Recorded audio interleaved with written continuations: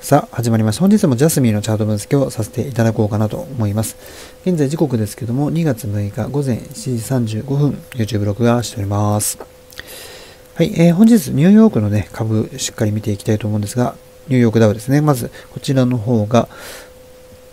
35,089ドルということで、こちらが21ドルぐらい下がりました。それからナスダックの方は大幅に上昇しております。219ポイント高ですね。ということでありまして、まあ、ナスダックが週末は高かったということでありまして、まあ、この辺を交換してからですね、仮想通貨非常に上昇しました。金曜日の夜ですね、株式がちょうどニューヨークダウ始まる頃上昇し始めまして、その上昇した部分を吐き出すことなく今はまだそこから上がろうとしているような状況ですね。その状況を見ていきましょう。ビットコインですね。はい、下にスライドしていきます。こういう形でちょっと上がり始めたのが大体11時半ぐらいです。そこから今、高いところに随分いるんですけども、ここでままたさらにですね、ちょっと上に行こうかなっていうような気配を見せております。かなり陽線も増えてきましたし、今ですね、ちょっとお待ちくださいね。472万円ぐらいのところになると、下髭が長いんですね。そこからまた480万円の方に戻してきていますので、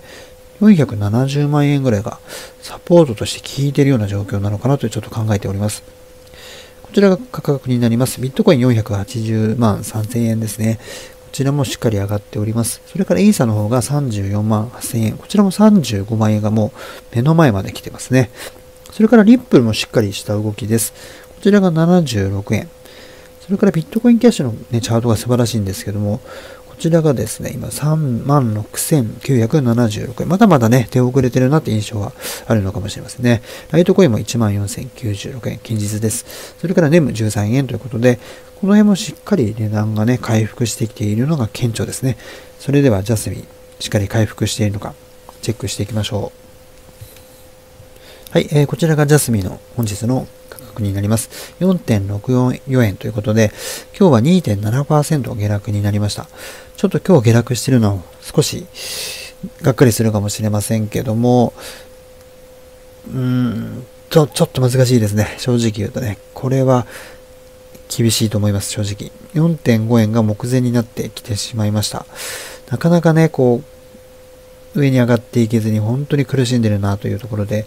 4.8円ぐらいちょっとこの辺もなんかレジスタンスになってくるのかなって、5円ぐらいとかですね。ちょっとこの辺りがレジスタンス、それからサポートが4.6円ぐらいでしょうかね。ちょっと今ギリギリ耐えてるかなというところなんで、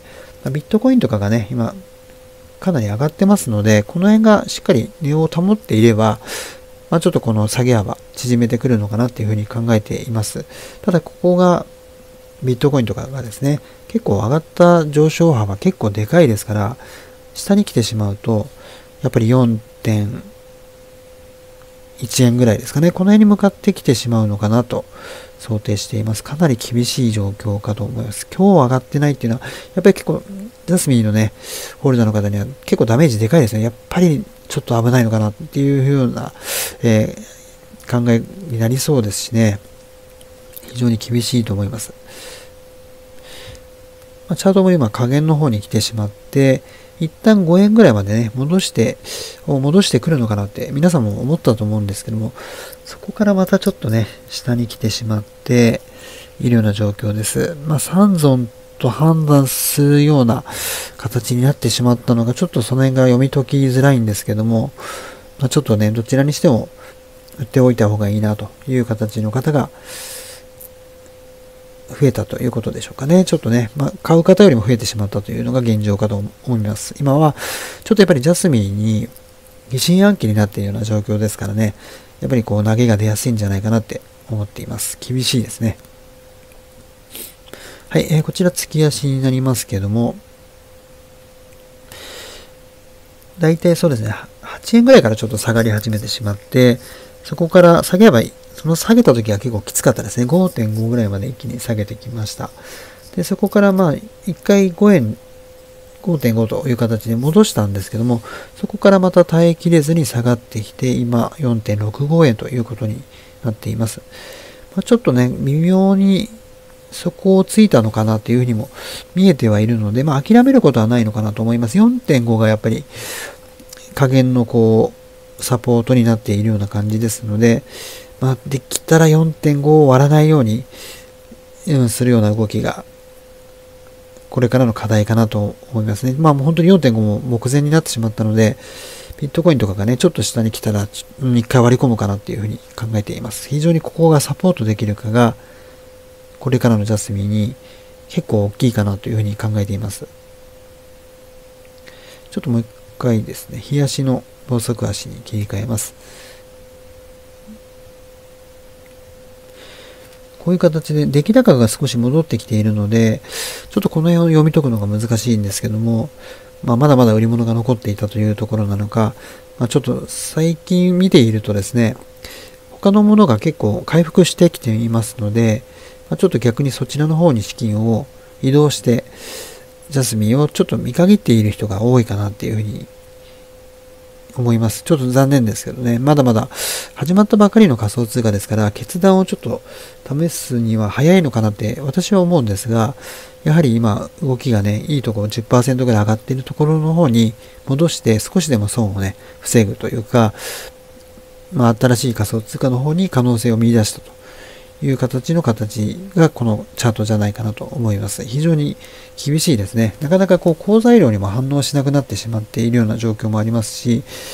やはりこう、高いところで買った方の戻り売りが非常に他のものに比べて強烈だなというところが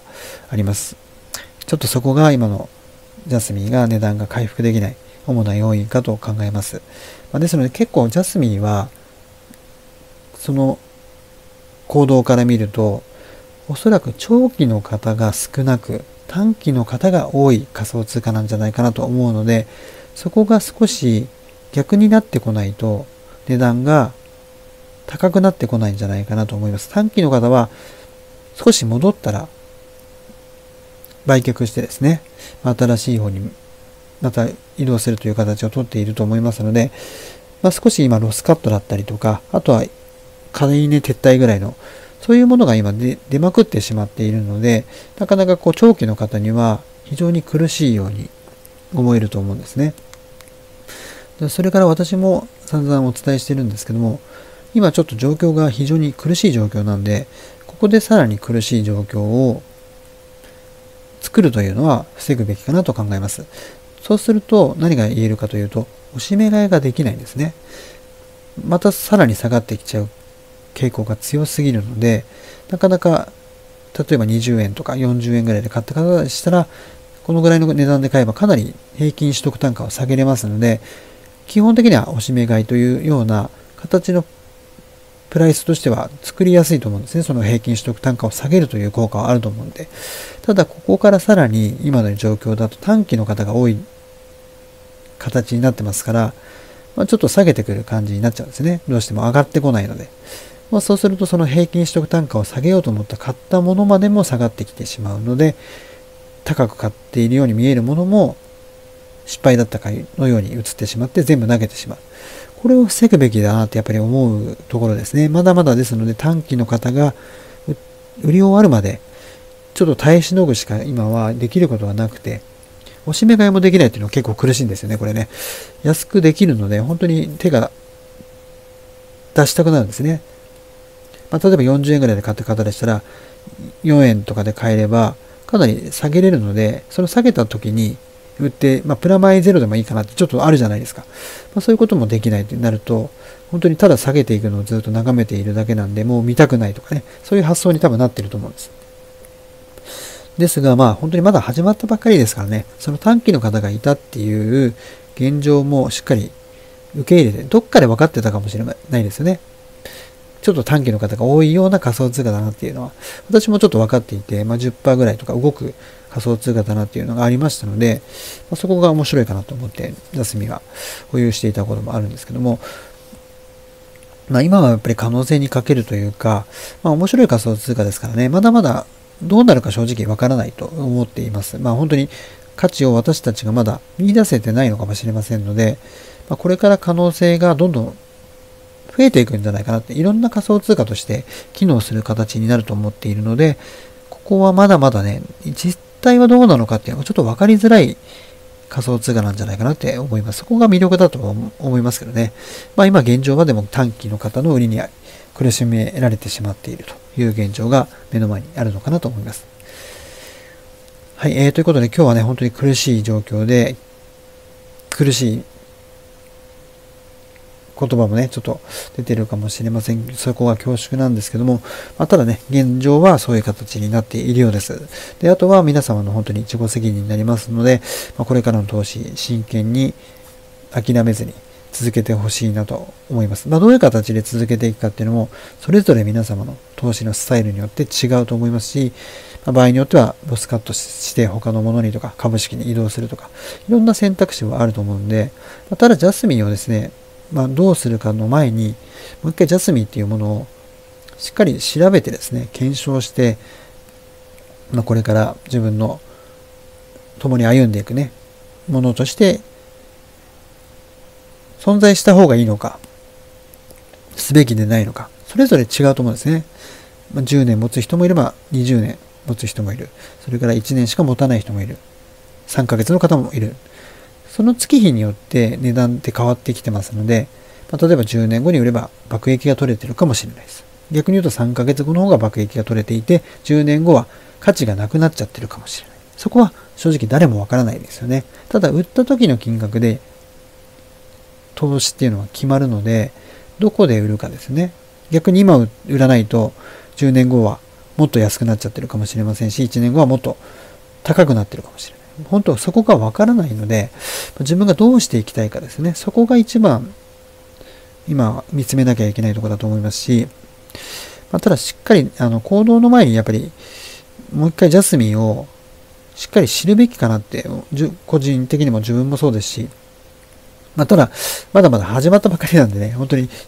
ポイントが少ないから、どうやって選べばいいのかなってちょっとわからないと思いますけど、まあ、現状は今そういう状況なんじゃないかなと思います。私はまあ可能性は非常に値段はどこまでいくかとかね、そういうのははっきりわからないですけども、まジャスミンという仮想通貨自体は悪いものでは決してないと思うので、まこれからどういう仮想通貨になっていくのかなっていうのを見届けたいなって思ってますね。そこが一番なんで、うん、まあその辺、まあ投資感が違うんでわかんないですけど、そういう状況なんじゃないかなってちょっとね、あの、改めて思いましたね。まあ、難しいですけどね、他のものが上がってると、なんか大失敗したかのように思うんですけども、まあ、それって投資って本当よくあるので、そこはあんまり気にしなくていいんじゃないかなと思います。まあ、本来やっぱり、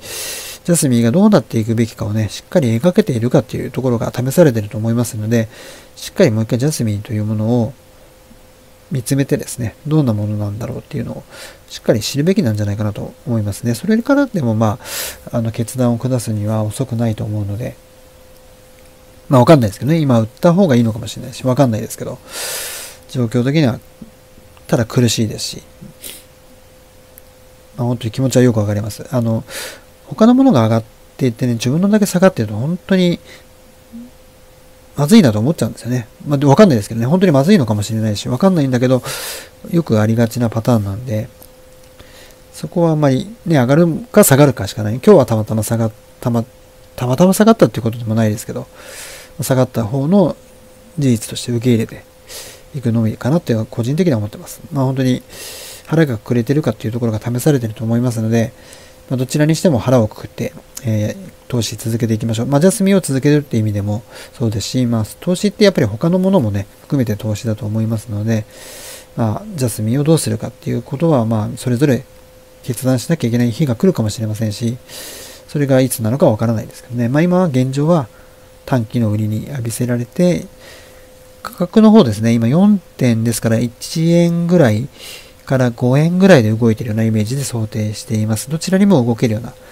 えー、スタンバイをしておく必要があるんじゃないかなと思います。厳しいメッセージで本当に恐縮ですけども、これからもジャスミですね、また値段を大きくこう動いていくんじゃないかなと思いますので、しっかり対応していきます。今回も最後までご視聴いただきまして、本当にありがとうございます。